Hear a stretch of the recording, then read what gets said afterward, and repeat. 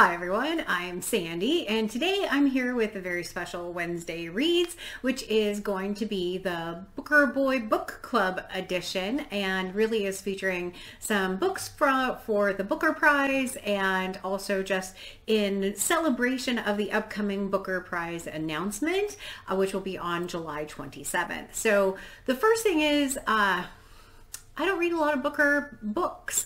Uh, it is not, for whatever reason, the books are not ones that I'm typically drawn to.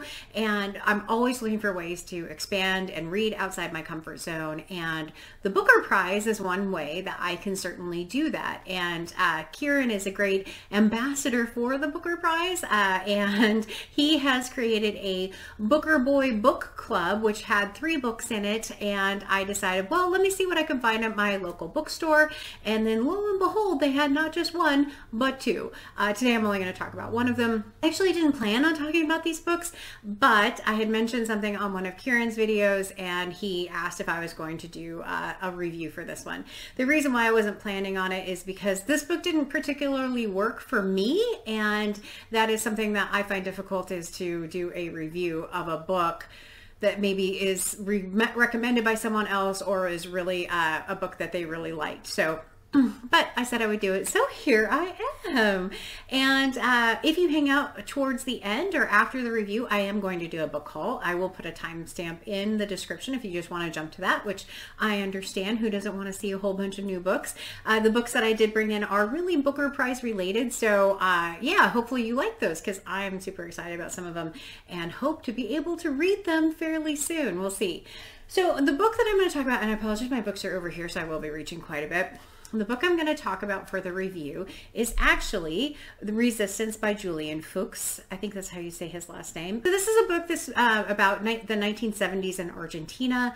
It follows a particular family, a young couple, it says, involved in a struggle against a military dictatorship in 1970s Argentina must flee the country. Uh, so very brutal environment, very brutal uh, experiences that everyone uh, is going through as part of this book. You find out on the first page that his brother is adopted, and that is really a central theme kind of throughout the book and leads ultimately to what feels like the brother's um, downfall and decline. Uh, so the main character as he's telling the story uh, a couple of the themes that i picked up on that i really did actually connect with the first one was this prevailing sense of oppressive silence. And in the very first part of the book you hear it multiple times and i'll just read a couple of little passages if i can find them because of course i have way too many. Um, so bruising was the silence that I remember it to this day, among so many other silences that I can barely remember. And as you work your way through the book, you get a a feeling that, or you get the, uh, you are introduced to a character who, um, whose name I can't unfortunately remember right now, who uh, basically I believe was his brother's birth mother and it's implied that as part of what was going on in Argentina that they were stealing babies and who knows what actually happened to the mother. And you go through the whole book wondering if he is actually one of those stolen babies or was it a legitimate adoption? And it was something that felt like it weighed really heavily on him on his brother and on the narrator of the story and weighed them really down. Uh, the other the other part that I thought was really fascinating was this one. It says, but there are sorrows that are not susceptible to argument. There are pains not subject to exaggeration. There are stories that are not made up at the table between gulps and forkfuls, between one chat and another. Stories that steer clear of lightness, that do not lend themselves to common ruminations, to everyday words. There are events that do not live on the surface of memory and yet will not allow themselves to be forgotten, who will not allow themselves to be repressed. All forgetting can fit inside a pain. That's according to a line of poetry about these uncertain things, but lines of poetry don't always get it right. Sometimes all that fits inside a pain is silence, not a silence made from the absence of words, a silence that is absence itself. It's where it's on chapter three. It's where he's talking about he's adopted. That's what I once said to a cousin. So he's definitely talking about his brother. It always seems like that. The silence is around them, uh, things that they're not allowed to talk about. And his brother's adoption was definitely one of those things that I felt like was one of the taboo tub subjects. Uh, so another section where they talk about silence, it says staying silent in order to save the other. Stay silent and be destroyed. So based on kind of what I've said, you would think that I really love this book because uh, like i said there are some sections in it um, that really were pretty moving uh, and interesting and horrific stories of what actually happened in Argentina. And a lot of those, uh, if you look in the history, I believe are definitely true. Um, the part where this lost me and I struggled with this book is in the, uh, Kieran thankfully has a lovely Discord um, to talk about the books that are a part of the Booker Boy Book Club. And in there, this is asked if this is autofiction. I actually had to go look up autofiction. I wasn't familiar with that term you know, I didn't go to school for literature. I went to school for information technology. Uh, if you're curious, we didn't talk about these things in uh, coding class. Um, so in that, I I got very distracted by uh, what auto um, autofiction is, what it means, how it changed the story, how it changes your perspective of the story. And for me, that was a real struggle. I couldn't figure out uh, what was real and what was not real. If you're not familiar with autofiction, my understanding, and please someone correct me if I'm wrong, is that it's basically autobiography with fiction mixed in. And so uh, the author does a very good job of writing that kind of that that um, genre. I just don't know if this is the genre for me. Uh, I found the autofiction components of it distracting and I, I wanted to just read the story and not try and figure out those pieces of it. And uh, I, I, struggled with it after that point. What, but again, I don't know that this is a negative on the book. I think it's a negative on my reading, maybe, and my experience reading this particular genre. It is one that I really want to go and read more of and see if it's the genre if it's this book that I didn't connect with as much, what the pieces were. Uh, I also found it really hard at times because the narrator was bouncing between them telling their story and telling the brother story and the family story that I couldn't always pick up on the perspective. Sometimes I felt like the brother was younger. Sometimes I felt like the brother was older. In the, if you read the blurb on the back, the brother was older. So that's really it. There wasn't anything big. It's not like I rated it one or two stars. I did give it three stars because it was very interesting. I just had trouble connecting with the genre. So Julian Fuks, uh, Resistance, that is one book on the Booker Boy Book Club. Also, if you're curious, Kieran does have a great review of this book, as does Rachel is Reading. If you would like to check out those, I will leave those links in my description. But that's the first part. So now, for the book haul, uh, it's been, uh, I think since my birthday, Day book haul, which is almost a month ago.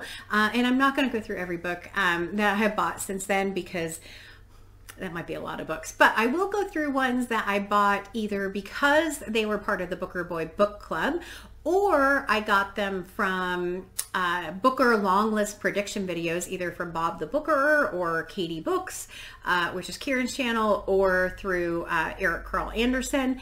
And it isn't 13 books. It's not my prediction of the Booker Prize long list. My one attempt to do that. Yeah, it didn't go well. I selected a book that wasn't even Uh, eligible to win the prize. So we're not going to do that again until I get a little bit more experience about Booker and Booker prizes. So, but the books that I bought, I'm super excited about and I'm super excited to share them with you. So the first one is that one of the books from the Booker Boy Book Club, which is Loop by Brenda Lozano. So this book, if you read the back of it, it says, recovering from an unspecified accident, the narrator of Loop finds herself in waiting rooms of different kinds, airport departure lounges, doctor's surgeries, and above all at home, waiting the return of her boyfriend who has traveled to Spain following the death of his mother. Loop is a love story told from the perspective of a contemporary Penelope who, instead of weaving and unraveling her shroud, writes and eases her thoughts into her ideal notebook. I'm not going to read any more of the back of that, but that is sounds actually super interesting. Uh, I know I'm not going to have time to pick this up in July. I did a count of how many pages I have on all of my commitments in July, and it's a bit excessive. So I'm gonna have to wait on this one. But yeah, Brenda Lozano Loop. That is one I was so super surprised to find at the bookstore because I was under the impression that I might not be able to find some of these. So yeah, that's the first one. So the next one is not a current release. It is one that is actually on my 1001 book list, but is one that I've been uh, wanting to read this author for quite a while. And just so conveniently, right here on the front, um, it says winner of the Booker Prize, which is Iris Murdoch, The Sea, The Sea. And so I actually don't know much about this one. Charles Arrowby, leading light of England's theatrical set, retires from glittering London to an isolated house by the sea. He plans to write a memoir about his great love affair with Clement Makin, his mentor and mentor both professionally and personally, and to amuse himself with Lil- Lizzie, an actress he has strung along for many years. Cool. So uh, Kieran, I believe, also did a recent review of this one. This is a very popular book, I believe, uh, but fits nicely in with the Booker Prize uh, ones. And even though it's not one that's eligible for this year, it is one I'm very excited to read. So the next book is one that I believe is eligible to win this year and I have seen this on more than one list and so that one is The Yield by Tara June Winch. Uh, so this one says after years adrift in Europe running from things she'd rather forget and searching for something she cannot name Agus August Goondiwindi is called home from for her grandfather's memorial. Racked with grief and burdened with all she tried to leave behind, she travels to the rural Australian town of Massacre Plains only to find that her grandparents' house is being repossessed. Sounds very interesting actually actually. I, um, like I said, definitely am interested in this one. I think it, it sounds like a very cool story. I believe it's been on like supposedly Funds, uh, which is Greg's channel, um, on his top books of 2021, if I remember right. I thought I saw this one on there. But this one, yeah, The Yield by Tara June Winch. I think it did end up on Kieran's final prediction list. You'll have to go watch that video, which I will also leave linked in the description below. Next one is um, Luster by Raven Leilani. Uh, this one, if you read the back of it, I'm only going to read the first line because I've read the first line. That's really makes me chuckle. So Edie is stumbling through her 20s, sharing a subpar ap- apartment, clocking in and out of her admin job, making a series of inappropriate sexual choices cool. Okay, I don't know anything more about it. I'm not going to read anything more because sometimes reading the back cover for me ruins the book. But uh, Luster by Raven Leilani. Uh, I am excited about this one. I think uh, it'll be an interesting one. I wish I had more time to read. Unfortunately, I have to do things like, you know, work. Okay, the next one I believe was on the women's prize list as well, uh, and it is Transcendent Kingdom by Yaa Gyasi, I believe is how you say that. And this one is Gifty is a six-year PhD candidate in neuroscience at Stanford University School of Medicine, studying reward-seeking behavior in mice and the neural circuits of depression and addiction. Her brother Nana was a gifted high school athlete who died of a heroin overdose after an ankle injury left him hooked on OxyContin. Her suicidal mother is living in her bed. I'm not going to read any more because now I'm really in, I'm super interested again in this one. Um, I think this is on the short list for the women's prize as well. Uh, but this one, yeah, I'm very excited. Oh, and the sticker actually does come off on this one. It's not one of those really annoying ones that are built into the cover. So uh, Transcendent Kingdom by Yaa Gyasi. So uh, the next one I don't remember whose channel I saw it on. I think Bob the Booker might have had this one on his list, but this one is The Prophets by Robert Jones Jr. Uh, and this one, it says, a singular and stunning debut debut novel about the forbidden union between two enslaved young men on a deep south plantation, the refuge they find in each other, and the betrayal that threatens their existence. I am so excited to try and read this, and I don't think it's going to be a happy book. Um, just guessing that. But yeah, The Prophets by Robert Jones Jr. So that one should be good. The next one I've seen on BookTube all over the place without a doubt. It's been very popular for uh, Pride Month in June.